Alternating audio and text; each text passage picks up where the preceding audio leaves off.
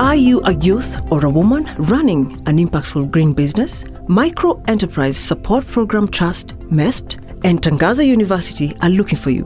Apply to get into the Green Enterprise Challenge and represent your county. For application, log on to www www.mespt.org to enroll into the Entrepreneurship Academy. You will get exposure to potential investors, brands development, and post competition mentorship, plus many, many more benefits. Don't miss this opportunity of scaling your business to greater heights.